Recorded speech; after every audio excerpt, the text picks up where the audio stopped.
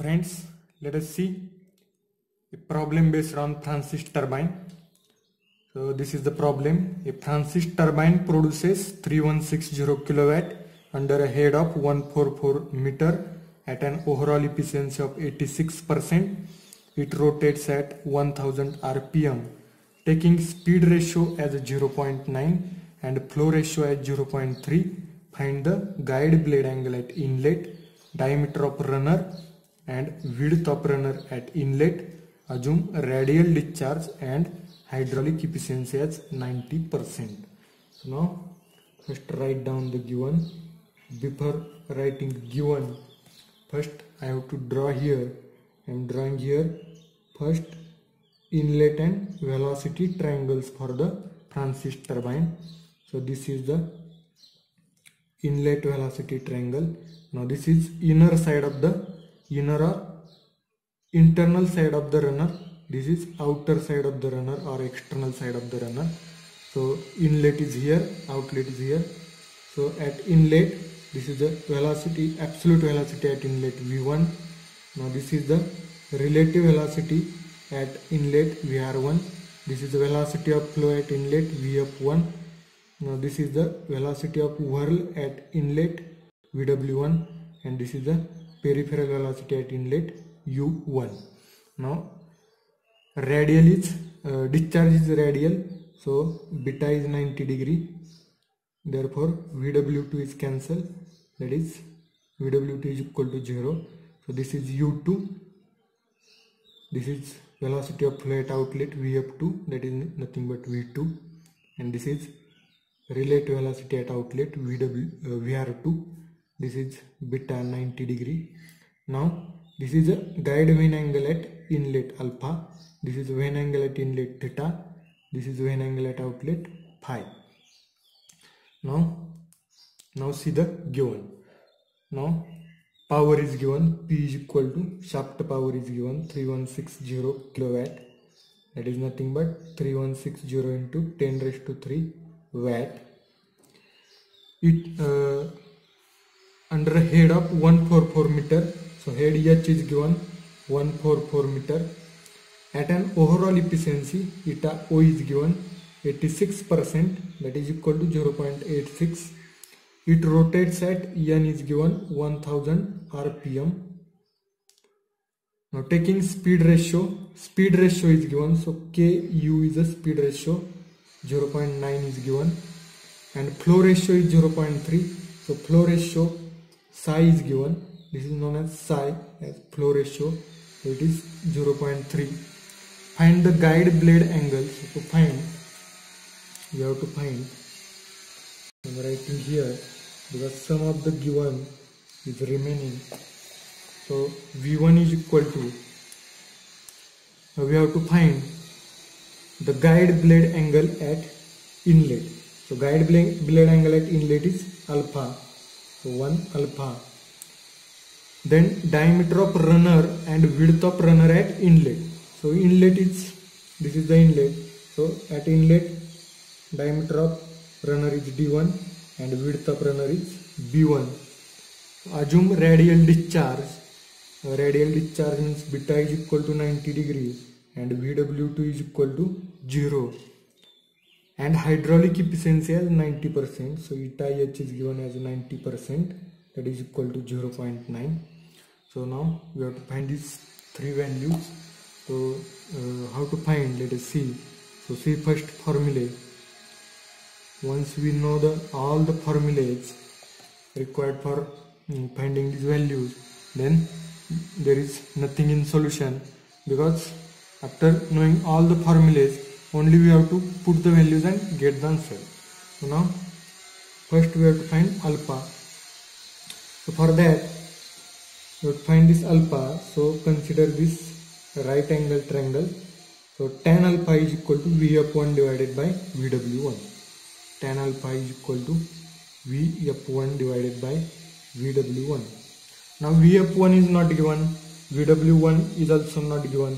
So how to find vf1 so for that this flow ratio is given flow ratio is given so psi is equal to flow ratio that is Vf1 divided by root 2gh.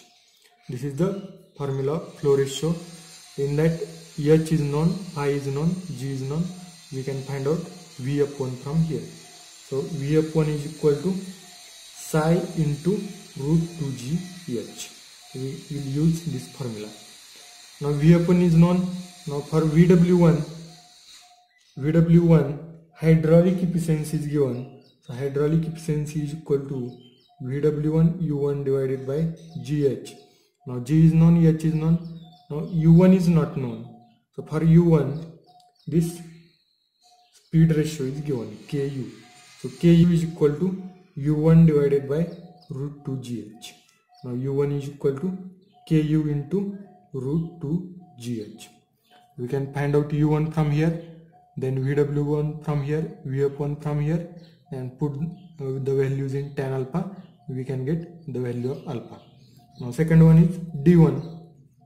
So how to find D1? Now U1 is known u1 is known so u1 is equal to pi d1 n divided by 60 n is known u1 is known we can find out d1 from here now third one is b1 width of runner now for that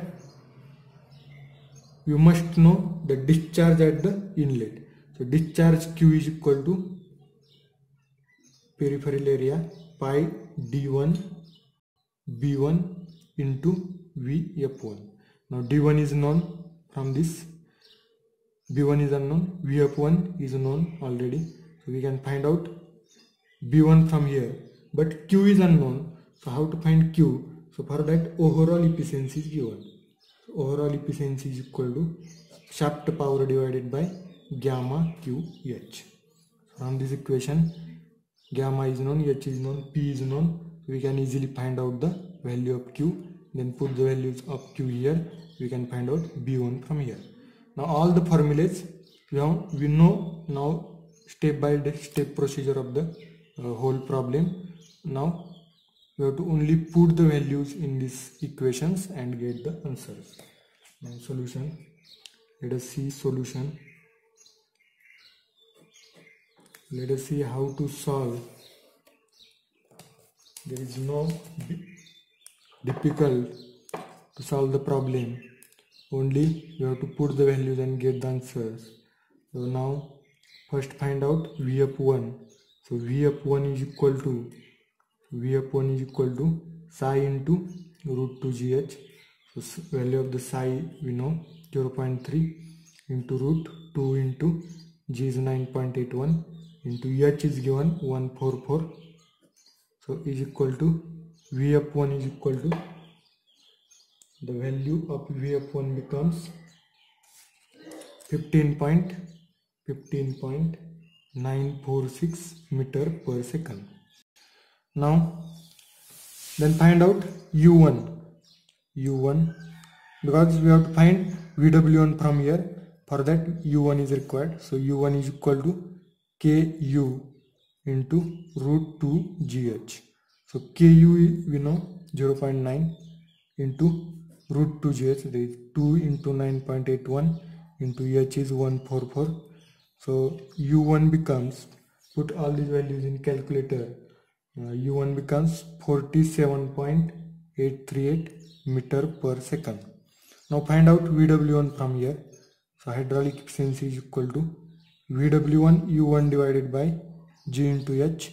So hydraulic efficiency is given 0.9 is equal to vw1 we have to find into u1 47.838 divided by g is 9.81 into h we know 144 so these values goes to numerator this value goes to will goes to denominator. So vw1 becomes answer of vw1 is 26.576 meter per second. Now we know the values of vf1 and v, vw1 so we can find out tan alpha from here.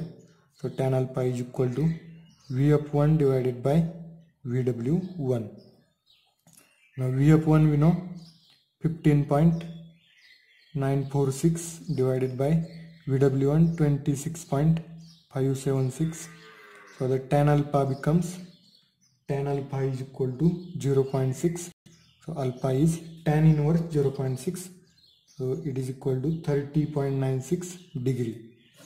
30.96 degree. First answer will come here. Now second second we have to find d1 that is diameter at inlet or outer diameter of the runner. Now for that use formula of u1 u1 is equal to pi d1 n divided by 60 now u1 we know 47.47.838 is equal to pi into d1 into n is given as 1000 n is given 1000 divided by 60 now this this value goes to numerator. These two values goes to denominator. So d1 is equal to 47.838 into 60 divided by pi into 1000 so that d1 is equal to the value of d1 becomes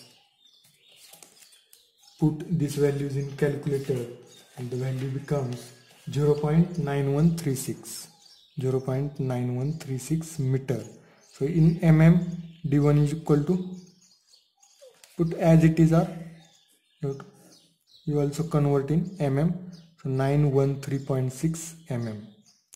This is the value of inlet diameter at diameter of runner at inlet.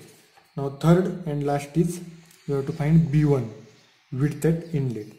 For that we require q then we have to find from here. So first find out q from overall efficiency p divided by gamma q h.